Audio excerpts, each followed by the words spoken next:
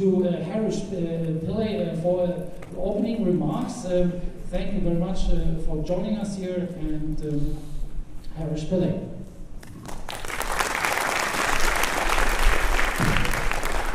All right, good morning, everybody. Yes? All right, well done, well done. Only one person's awake. Uh, it's actually, in many ways, I'm very, very glad to see us uh, all here today. Uh, the last time we did a uh, Linux or open source event uh, conference was in 2003. Uh, so it's been a long time coming. The first uh, Singapore Linux conference was in 1999.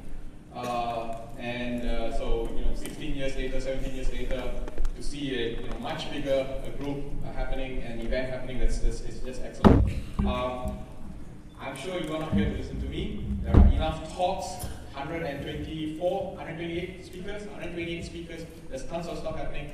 I want to just pitch for the talk that I'm giving. uh, no, it's, uh, and then I have to take this hat off because I'm wearing another hat for that. Uh, that is uh, with the, Singapore, uh, the Internet Society Singapore chapter. Uh, how many of you have heard of the Internet Society? A few, all right. So the Internet Society is a global organization. It's for you and me. It's uh, you know, anybody can join. And every city has a chapter or more, usually one, one per city. And we have a chap chapter in Singapore. And uh, the Internet Society Singapore chapter is running a kind of a workshop on Sunday. It's about creating an emergency internet setup. So the story is very simple. You have a major disaster. How are you going to get your internet going? You know what to do?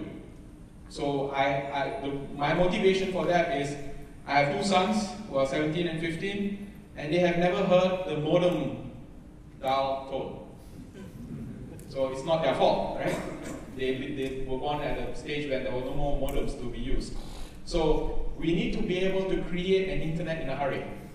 And this, I think, is a very important uh, uh, activity that we have to learn. So it's more of a workshop. So I'm happy to, you know, get ideas from you. What else we should do? We want to document it and make it available to anybody to build your own internet when you have a disaster.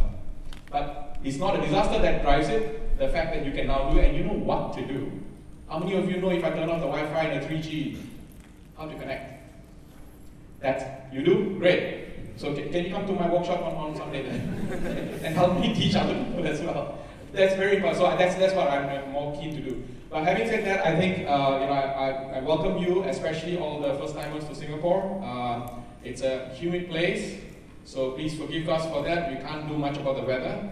Uh, so we have a lot of air conditioning, so I'm sure those of you have been living long enough, air conditioning is a, it's a, it's a blessing. So thank the aircon gods, right? So uh, have fun. Tomorrow, I'm, I'm, sure you'll be reminded, it's not going to be in this location. It's going to be at um, uh, Block 71.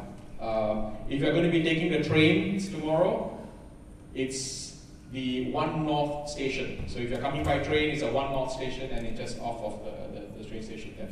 So with that, welcome to this event and have fun and learn, mingle, and be awesome. Thank you.